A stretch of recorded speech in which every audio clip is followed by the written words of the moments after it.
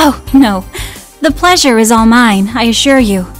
In a way, this feels closer to a reunion than a first meeting.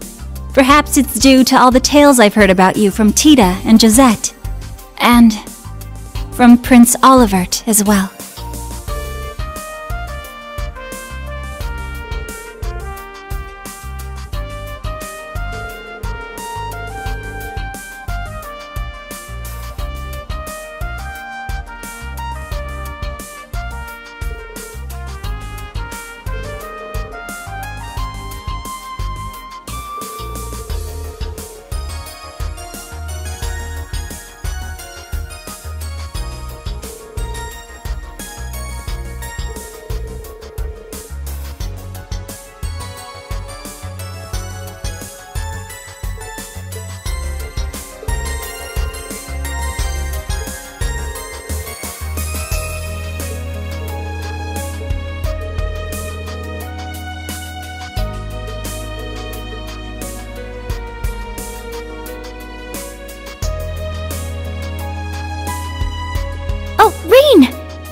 You are!